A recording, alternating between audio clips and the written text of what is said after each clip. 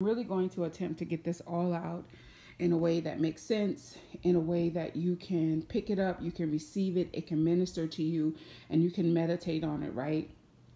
Because this is a really powerful word.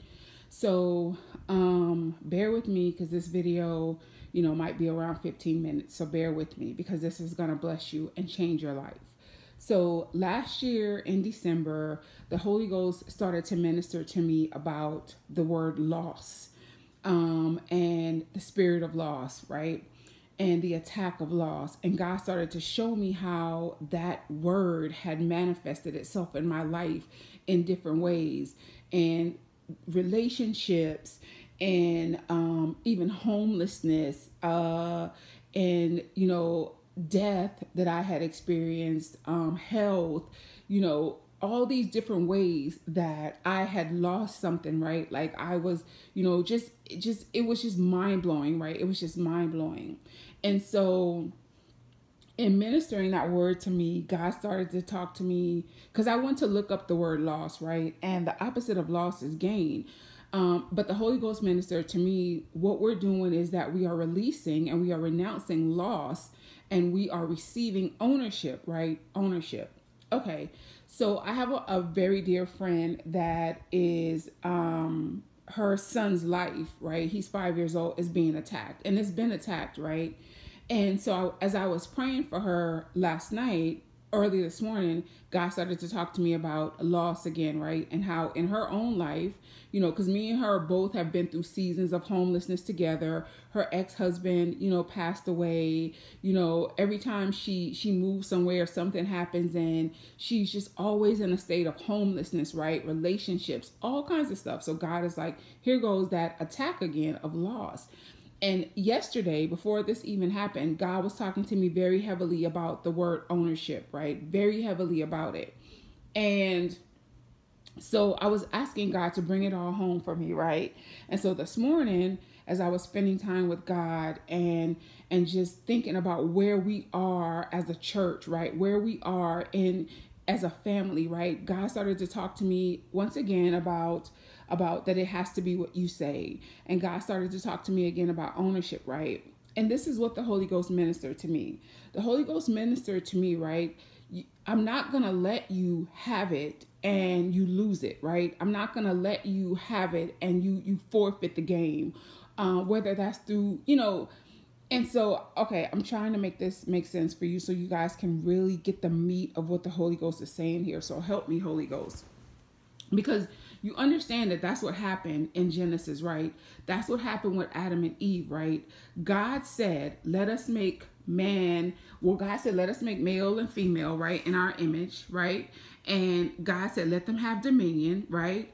Let them, right? So that's that's what God did. That's in the book of Genesis, right? Where God, where God, um, and let me just try to go real quick and read a little bit just so we can put some word behind it because the Holy Ghost is really going to show up when we put word behind it, right?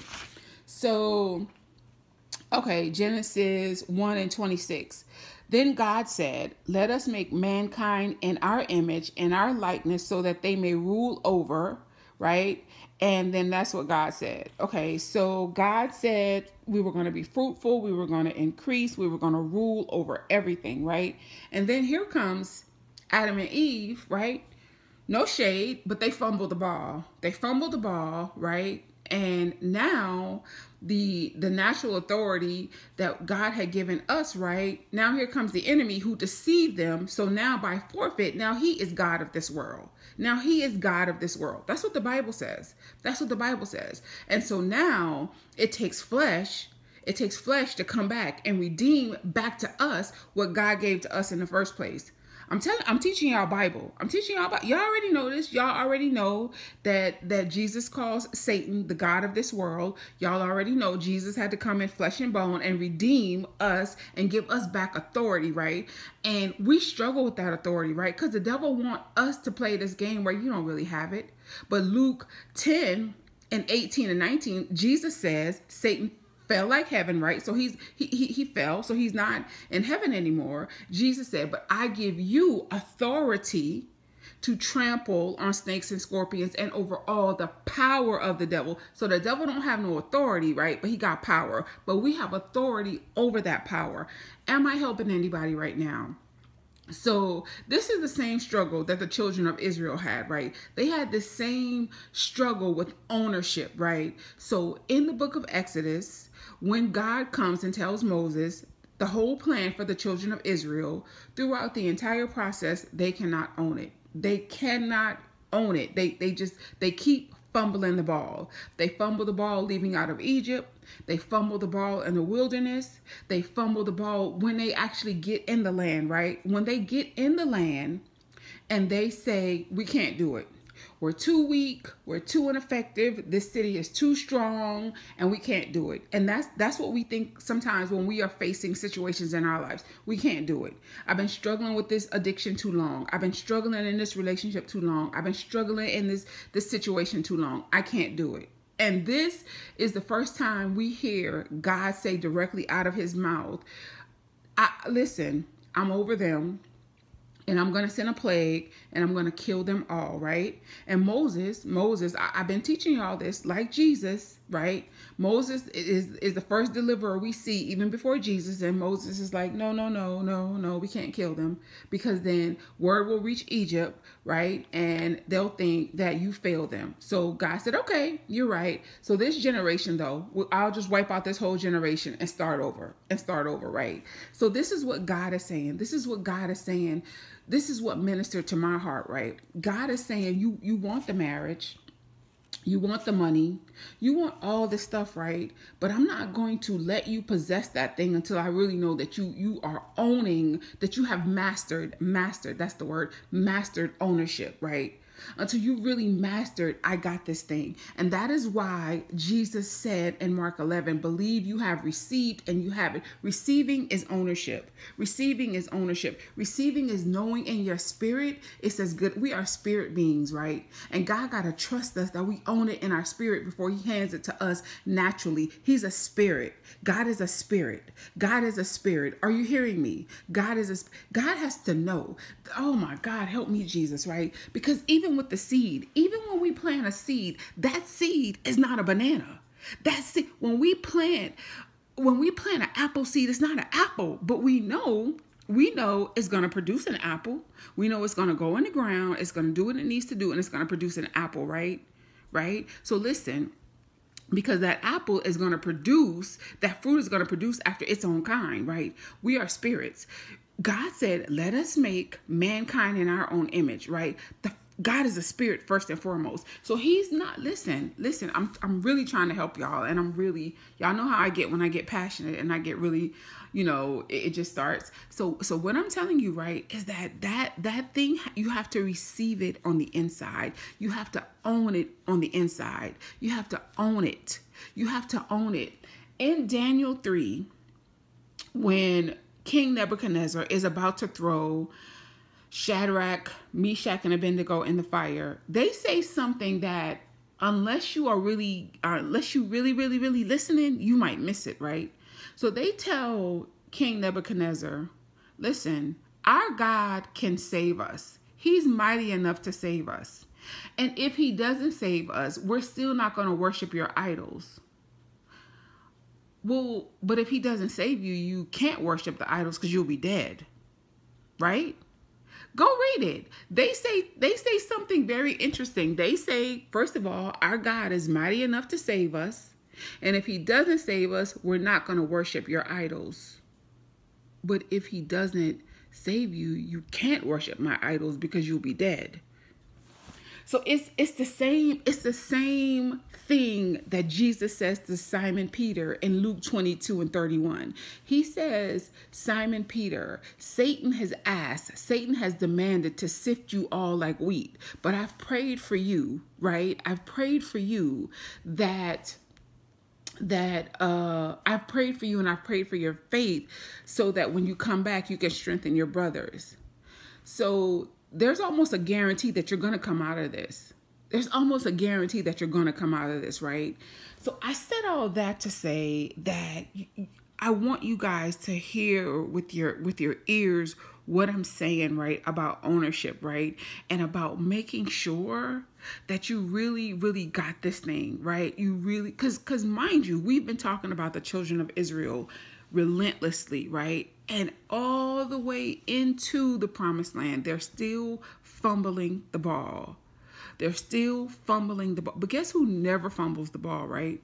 Which is why he finally possesses it for us. We know who that is. We know that king from day one that knew who God was. That is why this month has been about movement. That's why this month has been about identity, right? Because listen, that is going to solidify our ownership. That is going to solidify our ownership right?